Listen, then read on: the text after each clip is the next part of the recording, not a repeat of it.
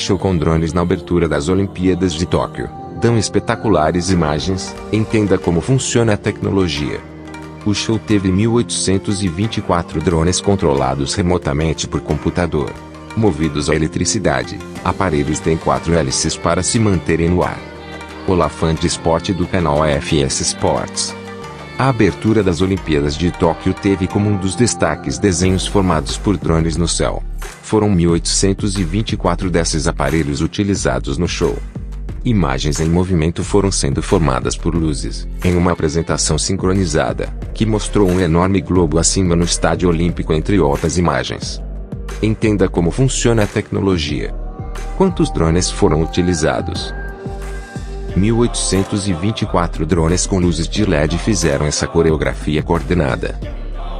O recorde atual de voo simultâneo com drones é da marca de carros Genesis, ligada a Hyundai, que usou 3.281 deles para celebrar sua chegada à China, em 29 de março de 2021. Como formam desenhos? O primeiro passo é a criação da apresentação em 3D a partir de um programa de computador.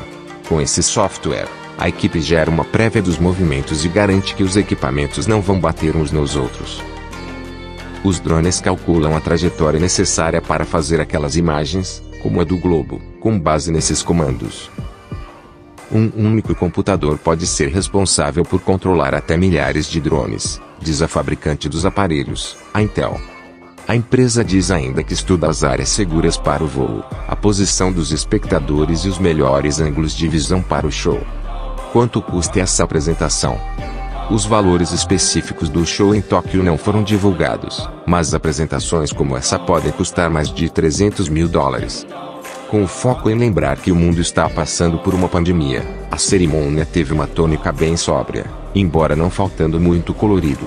Foi voltada para a interação entre as pessoas em geral, de diversas faixas etárias, pessoas com dificuldade de locomoção, cadeirantes, jovens e adultos.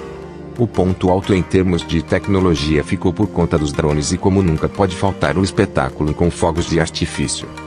Obrigado por assistir. Deixe seu like e comentário que nos ajuda a divulgar o canal.